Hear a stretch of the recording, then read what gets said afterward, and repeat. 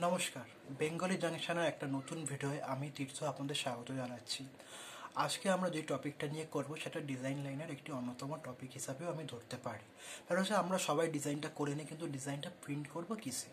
মানে হচ্ছে আপনি লেজার জেট প্রিন্টারে প্রিন্ট করবেন না ইঙ্কজেট প্রিন্টারে প্রিন্ট করে প্রিন্টিং খানায় মানে যেরকম অফসেট প্রিন্টিংয়ে বলুন স্ক্রিন প্রিন্টিংয়ে দেবেন। সেইগুলো একটা বড় জিনিস, যেটা অনেকেই জানেন না বা অনেকেই জিনিসটা বুঝতে পারেননি।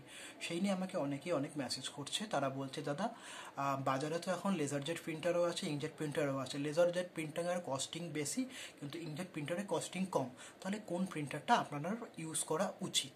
দেখুন, আমি আগে বলে দিচ্ছি, আমি ডিজাইনের সমস্ত কাজ মানে প্রিন্ট আউটগুলো যা করি, সেইগুলো এইচপি লেজার জেট প্রিন্টারের মাধ্যমে করে থাকি। কারণ লেজার জেট প্রিন্টারের মাধ্যমে সাধারণত আমরা ট্রেসিং পেপার বা যেটাকে আমরা অনেকে বলে বাটার পেপার সেই ব্যাটার পেপারে প্রিন্ট করি এবং কাগজে মাস্টার বার করে যে কোনো অফসেটখানায় আমরা দিতে চাই। তো ব্যাপারটা হচ্ছে এই। কেন আমরা লেজার জেট প্রিন্টার ইউজ করি? লেজার জেট প্রিন্টার হচ্ছে হিটের মাধ্যমে আমাদের যে মিডিয়া থাকে, সেই মিডিয়ার উপরে প্রিন্ট করে।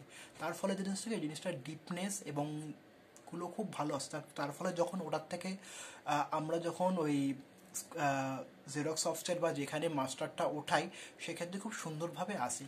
কিন্তু ব্যাপারটা হয়ে যায়, যখন আমি যদি ইংজেট প্রিন্টারে প্রিন্ট করি, সেক্ষেত্রে ইংজেট প্রিন্টারের কালিগুলো কিন্তু আপনি দেখবেন ডিপনেসটা হয় না। কারণ লেজার জেট যেরকম উপরে পেস্ট করে উপরে সারফেসে কালিটা একটু উঁচু হয়ে থাকবে। আপনি যদি হাত দিয়ে দেখেন, দেখবেন সামান্য উঁচু। কিন্তু লেজার জেট প্রিন্টারটা কী করে? সরি ইংজেট প্রিন্টারটা করেটা কি? ইংজেট প্রিন্টারের কাজ হচ্ছে সে পুরো জিনিসটাকে কালিটা কাগজের মধ্যে স্প্রেড করে। তাহলে স্প্রেড করলে কাগজটা ওটা শুষে নেয়। তো শুষে নিয়ে যাওয়ার ফলে কি? তার ডিপনেসটা কমে যায়। আপনি যখন দেখবেন প্রিন্ট আউট করলে জিনিসটা শুষে যায়। সেই হচ্ছে ব্যাপার। এর জন্য আমরা সাধারণত ডিজাইনের কাজগুলো ইংজেট প্রিন্টারে না বার করে লেজার জেট প্রিন্টারে বার করি।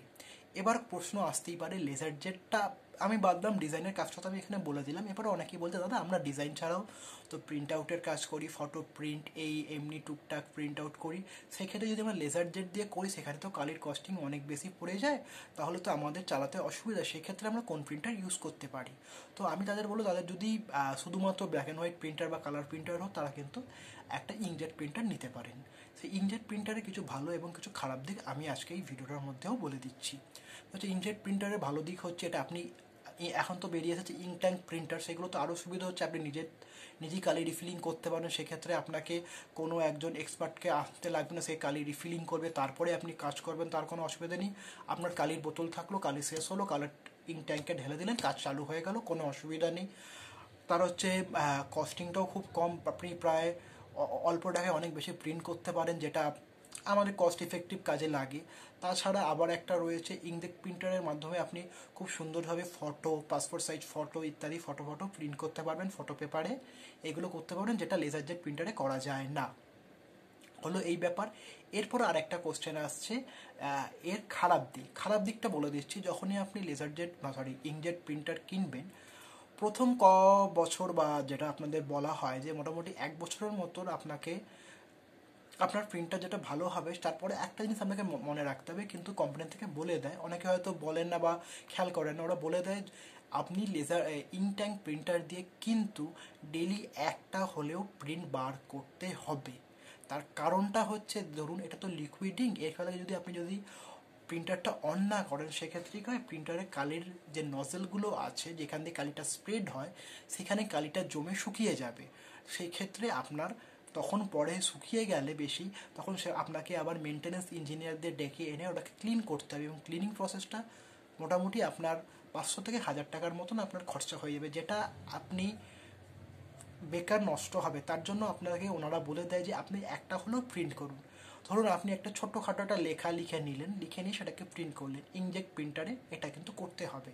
ব্যাপার হচ্ছে আমি বলেছি এক বছর কেন বললাম ফার্স্টে এক বছর কারণ আমি নিজে ইউজ করে দেখেছি যে ধরুন যারা প্রথম প্রথম প্রিন্ট হয় তারা কিন্তু এক বছরের মধ্যে প্রবলেমটা খুব একটা দেখা যায় না। কিন্তু যখনই এক বছরের পুরনো হয়ে যাবে, তখনই কিন্তু এই প্রবলেমটা খুব বড়োভাবে দেখা দেবে যে একদিন প্রিন্ট না করলে পরের দিন খুললে জিনিসটা কালারগুলো ভালো মতন আসবে না। বিশেষ করে কালার প্রিন্টারের ক্ষেত্রে কিন্তু এটা কালারের ক্ষেত্রে প্রিন্ট আউটও দেখা যাবে আপনি কি করবেন? দিনের শুরুতে একটা ব্ল্যাক অ্যান্ড হোয়াইট প্রিন্ট দিয়ে দিন। কালার প্রিন্টার দেওয়ার কিছু দরকার নেই। কালার প্রিন্ট দিলে আপনার কালার নষ্ট হবে, তার দরকার নেই। আপনি একটা শুধু পাতি ব্ল্যাক অ্যান্ড হোয়াইট প্রিন্ট দিলেও আপনার কিন্তু প্রিন্টারটা চালু থাকবে।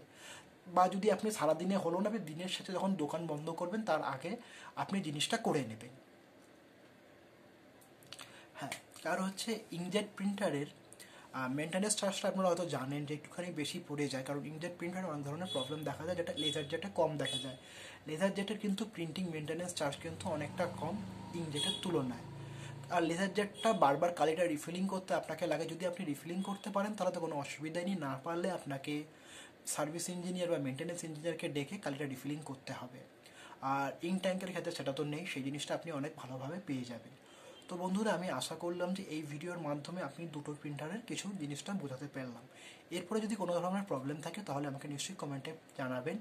এবং আজকে আমি এরকম ফেস ক্যাম ভিডিও করলাম। যদি আপনারা চান যে এরকম কিছু কিছু ফেস ক্যাম ভিডিও করি, যার মাধ্যমে আপনার সাথে আমাদের ইন্টারাকশানটাও খুব ভালোভাবে হয়, সেক্ষেত্রেও আপনি আমাদের জানাবেন, তাহলে আমি এরকম ভিডিও আরও আনতে চলেছি। আর একটা জিনিস বলছি, অনেকেই আমাকে মেসেজ করছে যে আমি ডিটিভি ক্লোজটা ঠিক মতন চালাতে পারছি না কেন? কথাটা আমি আজকে ক্লিয়ার করে দেবো।